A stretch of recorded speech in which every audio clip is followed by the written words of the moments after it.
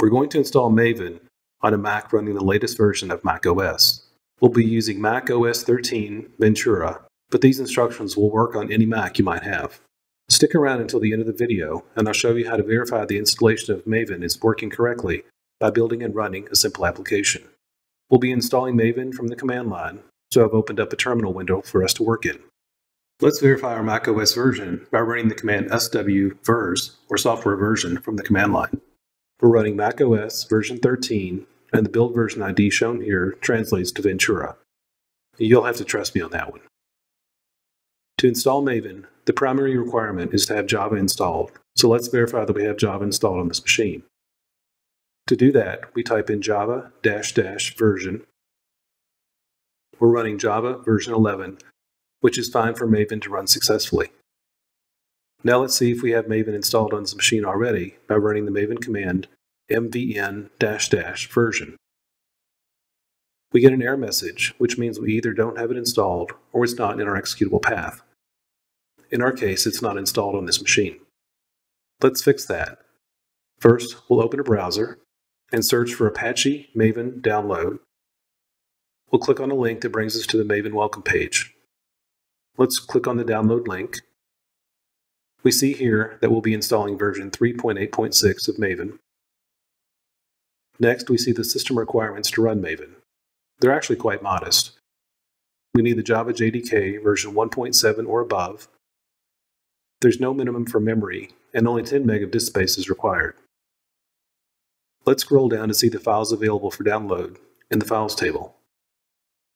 We can download either the binary versions of the files or the source code.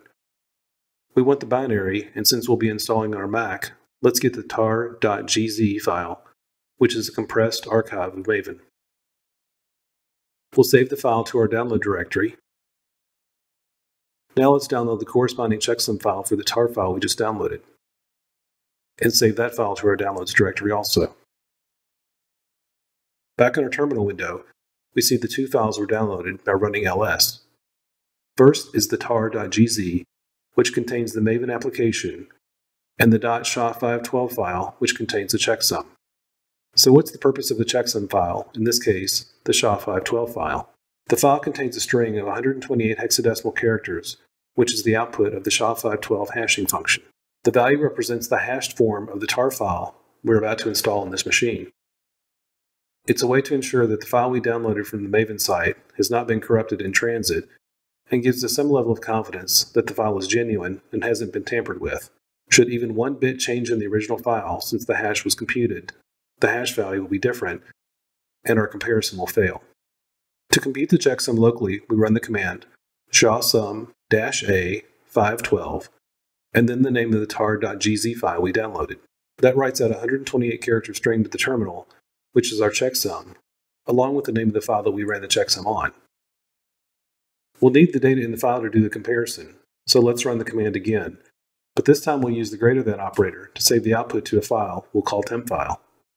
Now we need to open up the temp file and get rid of the name of the tar.gz file since it's not part of the checksum and will cause our comparison to fail. By the way, I'm using a VI editor here. If you're interested in learning more about VI, please leave a comment below. Next, because of the way the comparison command works, we'll need to add an end-of-line character to the SHA-512 file. Right now there's an end-of-file character, which will confuse the compare utility when we do the comparison.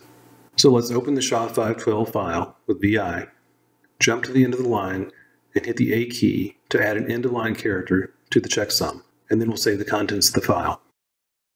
Now we're ready to compare the checksum values using the compare command. We'll type in CMP, the name of our temp file, and the name of the SHA-512 file we downloaded. And look at that, we get no results, which in this case is a good thing. It means no differences were found, so our tar.gz file is good. Next step, let's uncompress and expand the tar.gz file. To do that, we'll use the tar command with the option xvf in the name of the tar.gz file. If we type ls, we see a new file in the downloads directory, which is the directory containing our Maven application. If we run the find command on that directory, we see the contents of the Maven package, including all the subdirectories and files. We don't want to leave the Maven file in our downloads directory, which is the location for temporary storage. We'll move the directory apache-maven-386 under the slash user slash local directory. We'll use the mv or move command to do so, and we'll need to use the sudo command to allow us to run this command as a super user or root user of this machine. When we run the sudo command, we're prompted for our password as a safety measure, since we'll be moving the directory to a location on the machine that's usually protected, the user local directory. Now let's change the directories to the user local Apache Maven 386 bin directory and run ls. Here we see the Maven installation files that we'll use in our projects. To make this work, we need to add this directory to our path so we can execute the Maven application. Let's copy the directory name and open the etc paths file, once again with sudo, since this is an administrative task. We'll add a line to the bottom of the file and paste in the directory name we just copied. And let's write quit and save that file. Now let's open a new terminal window and run mvn dash dash version. And there we are, we see the new version information in the Maven home directory. And that's all we need to do to install Maven. Prior to Maven version 3, it was necessary to set up the environment variable Maven home or M2 home, but that's no longer necessary. Let's verify our Maven installation by generating some code, compiling, and packaging it. To do this, we'll use an archetype. Archetypes are a great way to quickly construct a basic application, and there are hundreds of archetypes to choose from. We'll create a directory called mvn project and cd into it. We'll use the quick start archetype to create a very basic Maven application by typing in mvn archetype colon generate dash d group id equals com dot begin secure dot app dash d artifact id equals my app dash d archetype artifact id equals maven dash archetype dash quick start dash d archetype version equals 1.4 dash d interactive mode equals false if you're unsure what all these commands mean, check out this video I have linked here for a complete explanation. Because this is a new installation of Maven, we'll download a lot of required dependencies from Maven Central to our local cache.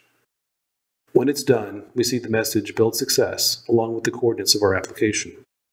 A directory called MyApp has been created. Inside that directory, we find the pom.xml file that was generated, as well as the root directory where our source code is located. If we run the find dot command, we see the code in the directories that were generated for us. The file app.java is a small sample application that we can run to prove everything is working. We want to assemble and generate code into a jar so that we can use it to execute our code. To do that, we'll run the command maven package.